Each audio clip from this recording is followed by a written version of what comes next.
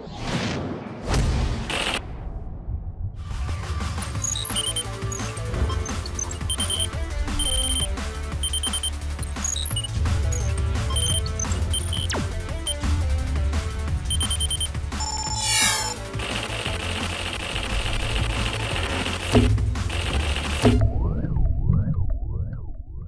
Здравствуйте! В эфире программа «Персона Грата». Сегодня у нас в гостях музыкант, джазовый исполнитель Аркадий Фиглин. Здравствуйте, Аркадий. Добрый день. Аркадий, я бы хотела начать наше знакомство с цитаты, если вы мне позволите.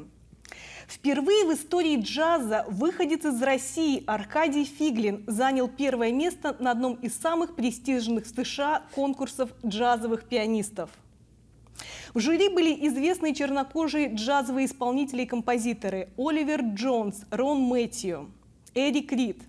Это я прочитала выдержку из газеты выпуска 1998 года. Да, совершенно правильно. Вот мне очень интересно, Аркадий, хотелось бы узнать, как э, мальчик из Саратова, я так понимаю, совершенно далекий от джазовой культуры, нетипичного цвета кожи, нет. Вот скажите, пожалуйста, как вы к этому пришли? Вот с чего начиналась ваша жизненная творческая история? А, ну, я думаю, что, наверное, а, я не знаю, если начать с самого начала, то я стал играть на фортепиано в очень юном, нежном возрасте. Я думаю, что мне было не больше трех лет – и именно играть, я не, не говорю о том, что я стал подходить и бить по нему игрушками. Нет, я именно играл, как мне говорили мои родители, я подбирал песни, которые звучали по телевидению, по радио. И... А в каком возрасте вы начали импровизировать?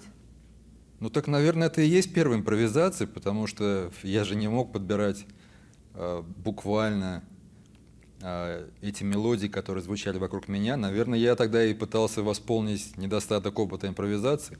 Но что касательно, если серьезно, то импровизировать, а, то можно сказать, что первый раз я столкнулся с, а, с джазом, мне, наверное, было в районе 9-10 лет.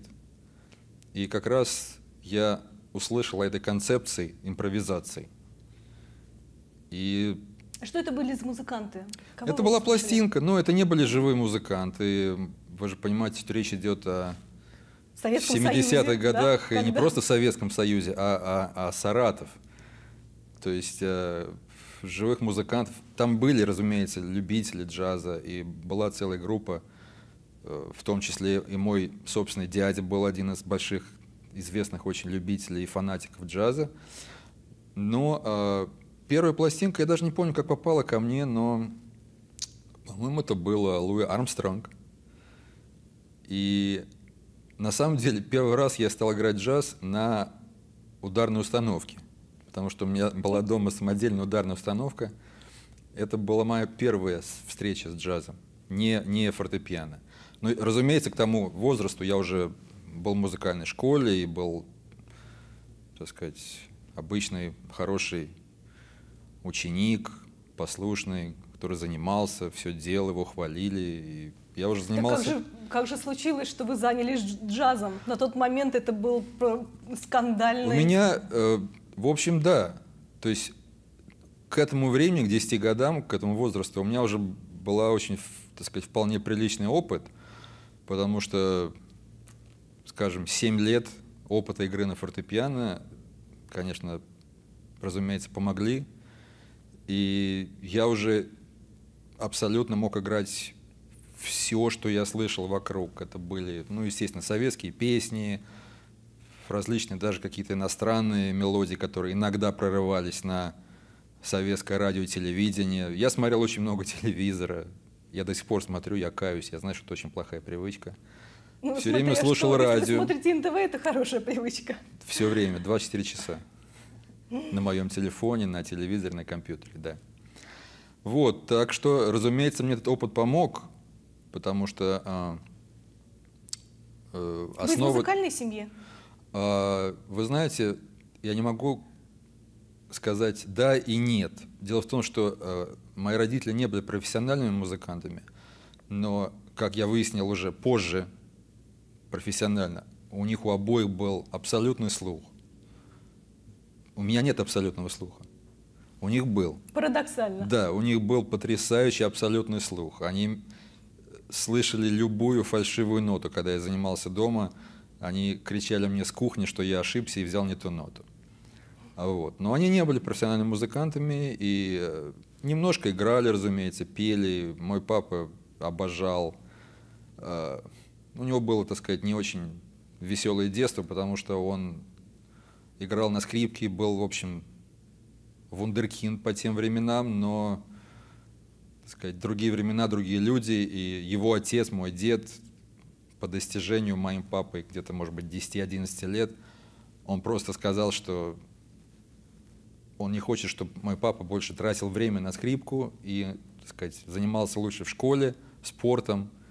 И, короче, он на своем настоял, и, в общем-то, это немножко было. Конечно, мой папа Родители всю жизнь... ломают, и Да, они, да, наверное, да. не хотели уже делать это с вами. Да, да, да. То есть я не помню ни одного случая вообще, чтобы меня заставляли.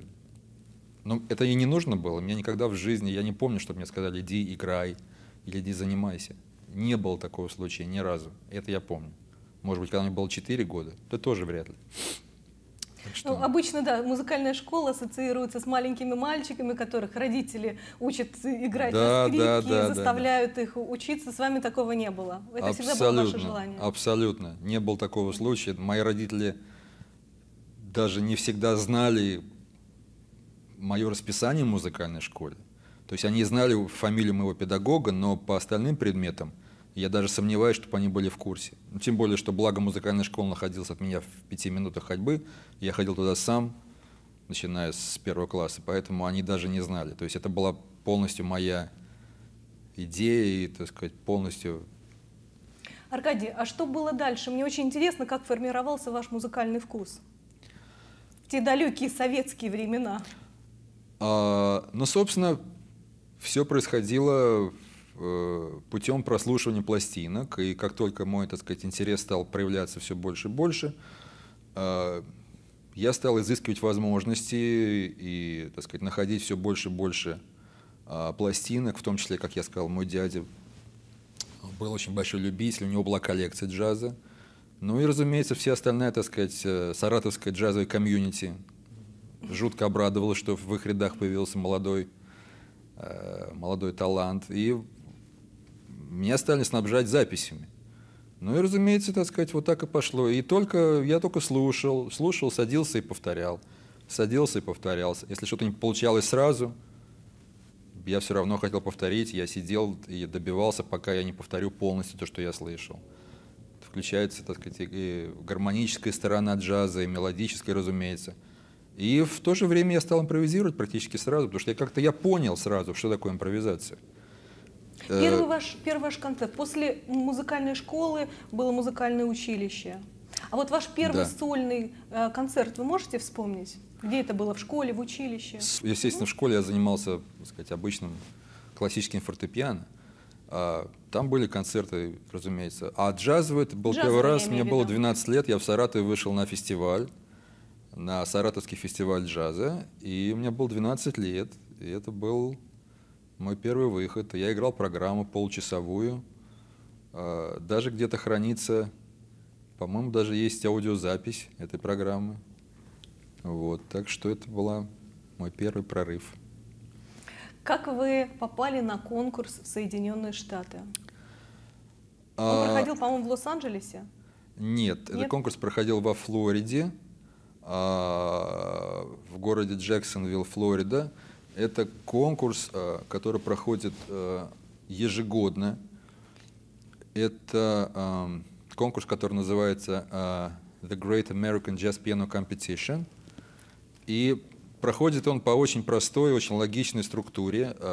Сначала все потенциальные участники посылают свои а, записи в оргкомитет, и какое-то время комитет занимается тем, что он прослушивает записи. Запись, приним- хоть и называется American Competition, на самом деле, конечно, это туда приходят записи со всего мира, потому что это один из самых а, я бы сказал не один, а просто один из двух наиболее э, э, уважаемых и так сказать, Значимых. значимых да, джазовых конкурсов в Америке. Второй – это конкурс Талониуса Монка в Вашингтоне.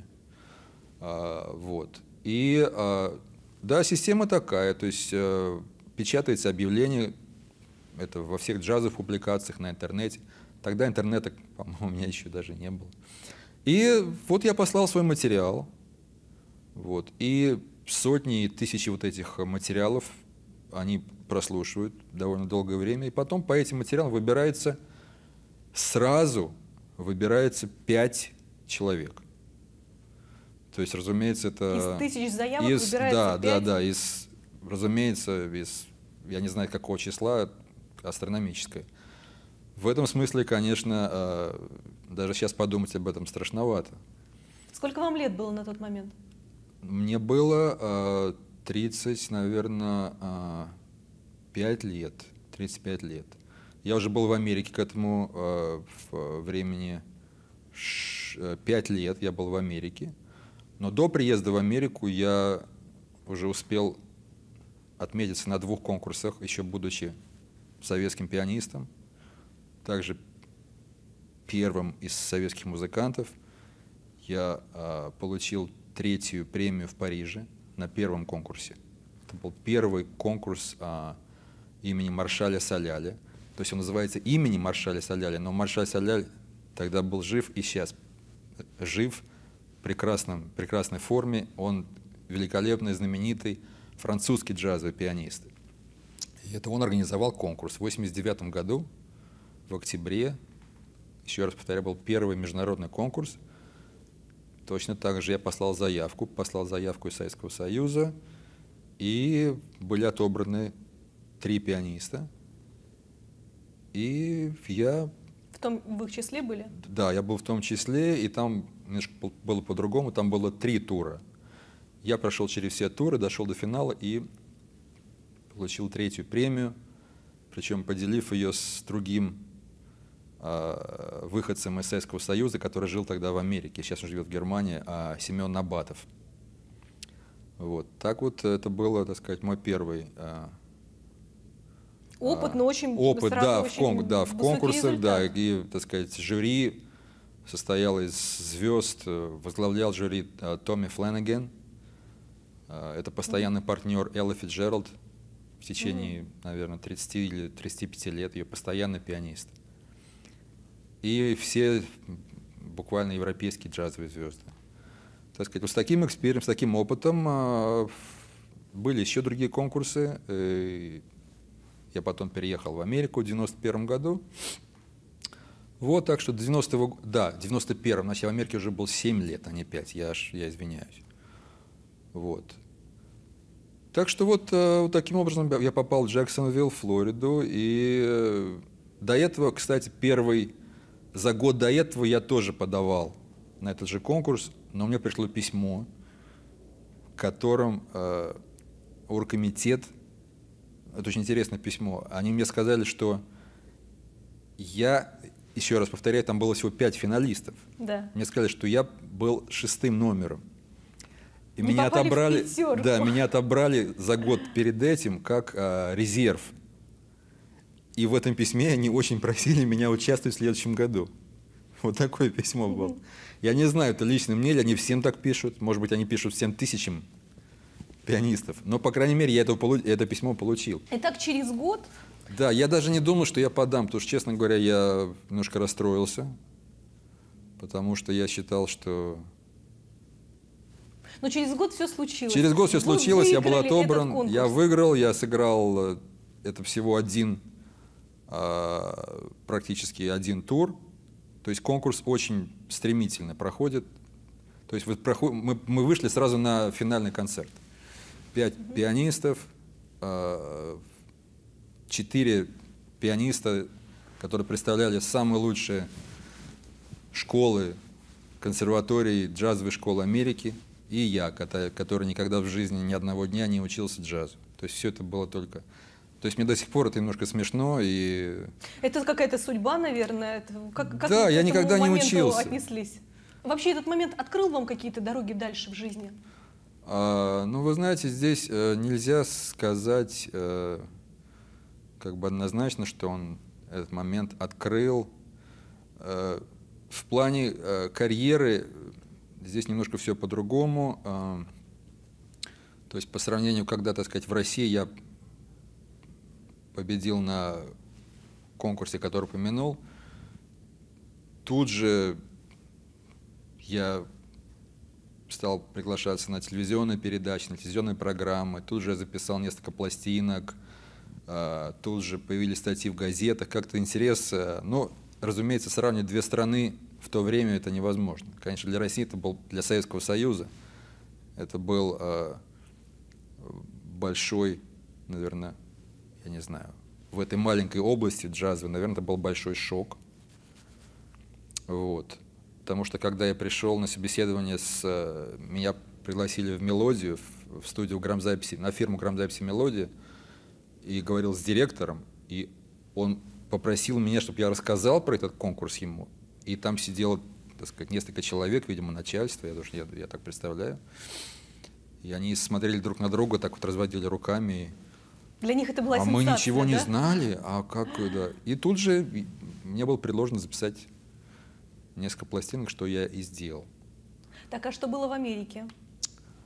А в Америке, по приезде в Америку, ну как мы все, я стал, так сказать, думать э, о, о том, как, бы, как мне жить и чем мне заниматься, и стал искать работу, но благодаря тому, что по образованию я классический пианист, я закончил институт имени Гнесиных в Москве, классическое отделение, и с дипломом солиста. Аркадий, скажите, пожалуйста, вот у меня есть в руках ваши диски, Да.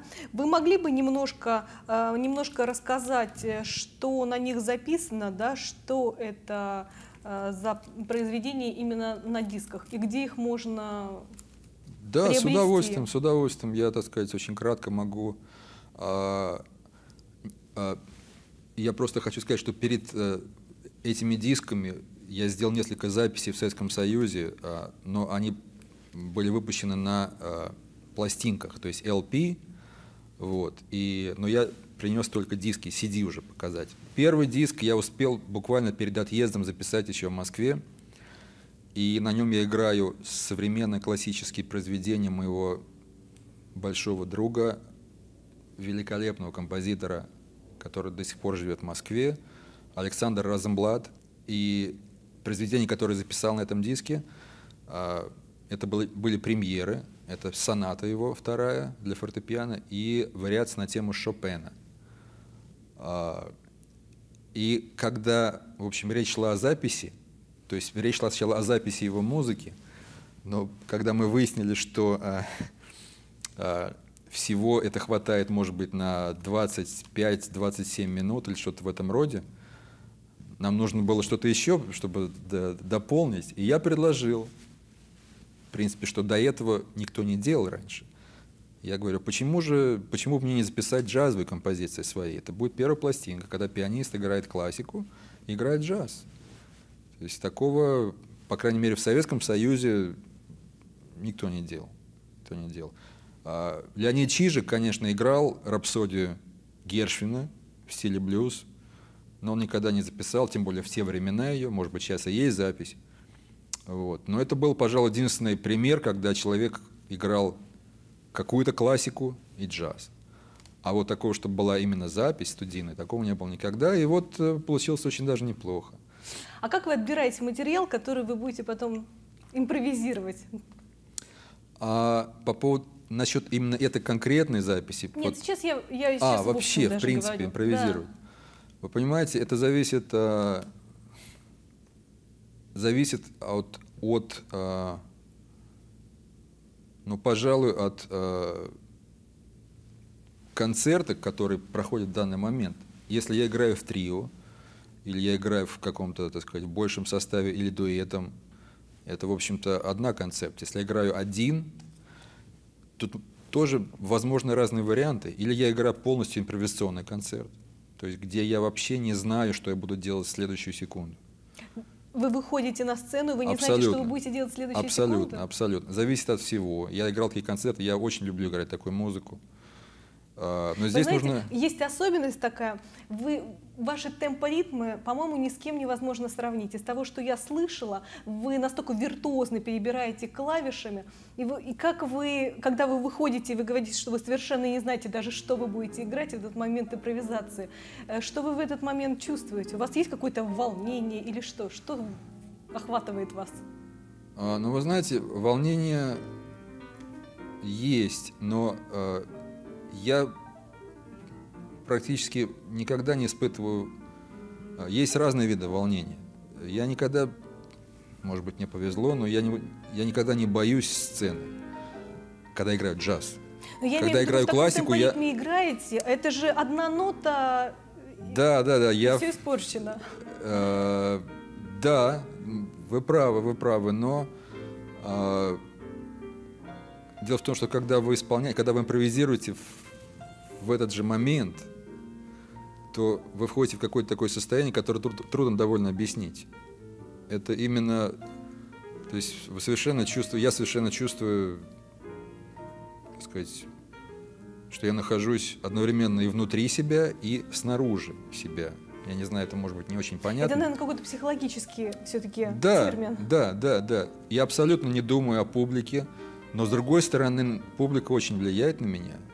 И не только публика, влиять может все абсолютно. И рояль, и, и стул, если он низкий или высокий, и свет может влиять. И то, что я делал перед концертом, и то, что я делал э, вечером накануне. Это все Ну, может конечно, влиять. вы же живой человек. Да, да. Но моя задача в том, чтобы все это выразить в именно в музыкальной форме и донести это до зала и э, сделать так, чтобы зал это принял, чтобы, пуб- потому что в итоге, как бы мы не говорили о том, что это музыка для себя, о себе, в любом случае мы играем для публики.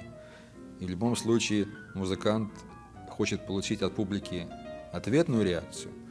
То есть это, я не могу полностью уходить в какие-то лабиринты сознания. То есть, когда я играю Кто один, на джазовые концерты? А, Какая публика? Я думаю, что разное. Я думаю, что разное. Опять же, зависит от того, где ты играешь. И, конечно, мы всегда очень хотим, я очень всегда хочу, чтобы приходила публика э, специфическая, которая знала, куда идет. Но попадаются э, люди, которые просто слышали, что есть вот джаз, или слышали, что есть, допустим, такой пианист. Поэтому э, это составляет определенную трудность. Ты должен просто пробиться через, через эту стенку, которая натурально, естественно образовывается. Она есть в начале каждого концерта, поэтому говорят, задача, задача стена, музыканта, да, ты должен просто... зрителя Да, да, да. Ты должен, ты должен пробиться и в конце концов добиться того, чтобы эти люди не хотели, чтобы ты уходил. Аркадий, а на сегодняшний день куда можно пойти и послушать? Вот Нью-Йорк это, в принципе, город джаза. Я знаю, что в Линкольн-центре постоянно идут, э, у них разнообразная джазовая программа есть э, круглогодично. Вот куда вы можете посоветовать да, пойти меломанам послушать настоящий добротный джаз? Ну, вы сейчас сами сказали совершенно верно, что а, какое-то время, не так давно, но довольно уже э, приличное время существует а, такая программа, которая называется «Джаз Линкольн Центре». Да. И художественный руководитель этой программы, выдающийся американский а, трубач Уинтон Марсалес. И, так сказать, э, это очень хорошая, э, так сказать, программа, которая э, э, представляет э, зрителям музыку, джазовую музыку, ну, практически на любой вкус, круглый год. И, э, ну, я думаю, что люди, так сказать, прекрасно знают, где найти Линкольн Центр, они представляют, где он находится. И, э, да, это, в общем, как бы... Это лучшее, что есть на это день. да, это как бы центральная, э, я бы сказал, может быть, джазовая филармония, если бы я провести параллели с советскими временами. Это именно филармония. Это именно филар- концерты филармонические, в прекрасном зале. Вот. И, но а по поводу остального, Где можно найти конкретно вас? а, Что вы планируете? в данный момент, э, так сказать, э, как у многих музыкантов, у меня нет постоянного места, где я бы играл.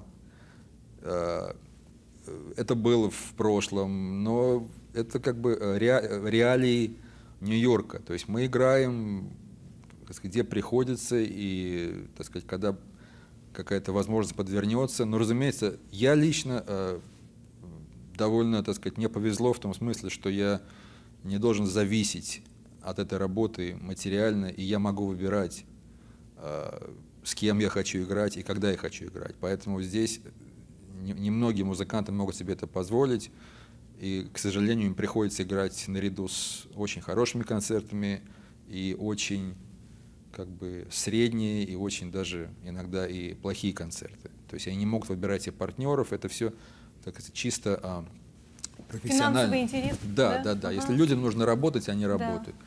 Я еще раз э, могу сказать, что мне в этом смысле повезло, потому что я э, буквально с первого дня фактически приезда в Америку, я работаю, и, э, в общем, у меня нет такой, так сказать, необходимости зарабатывать деньги джазом, поэтому я могу выбирать. И я в этом смысле очень человек придирчивый, и долго думаю, прежде чем с кем мне играть и где это делать. То есть да. я могу долго выбирать. И в этом... С одной стороны, это хорошо, с другой это не очень, потому что Э, иногда я настолько, так сказать, придирчивый, так долго выбираю, что это очень тянется долго. Аркадий, у нас время, к сожалению, заканчивается. Да? Очень приятно было сегодня с вами познакомиться. Спасибо. И я единственное хотела спросить, я обратила внимание, что люди, которые приезжают в Америку, и их в зависимости от того, как складывается их карьера, как они могут себя самореализовать, и тогда они говорят, мы любим Америку, или мы не любим Америку, если у них что-то не сложилось. Вот вы как лично можете характеризовать? Вы любите Америку, у вас все сложилось? Это два разных вопроса. Сложилось все и люблю Америку. Да, я люблю Америку, сложилось все или не сложилось. О чем вы еще мечтаете дальше? Ну, я мечтаю о многом, а, и, э, так сказать, как любой человек, если сейчас, так сказать, я могу э, представить огромный лист своих мечтаний, но я думаю, что это, так сказать, это, разумеется, я мечтаю больше играть и больше записываться, но Э, любовь к стране не должна зависеть от того, как ты материально устроился и хорошо ли ты живешь. Раз мы сюда приехали, раз я сюда приехал, я знал, куда я еду. Может быть, не все так, но я лично знал, куда я еду. И опять же, в моем случае, так сказать, любовь к джазу, которую я испытывал с 10 лет, этому не повредила. И я уже, я был готов практически. к этой стране. Просто мне это заняло какое-то время, но я был готов, я знал, я всегда знал, что я, я всегда хотел проверить себя. Мне никогда не было достаточно того, что я был лучший в Саратове или лучший в Москве. Мне этого всегда не, я, мне всегда хотелось проверить себя, а вот как, как я буду выглядеть рядом с лучшими из лучших из лучших. А где самый лучший джаз? Мы все об этом знаем. Это в Америке. А где в Америке? Мы тоже это знаем, в Нью-Йорке. Спасибо огромное. Спасибо. Спасибо большое. Это была программа «Персона Грата». Сегодня у нас в гостях был музыкант, джазовый исполнитель Аркадий Фиглин. Оставайтесь с нами на телеканале НТВ «Америка».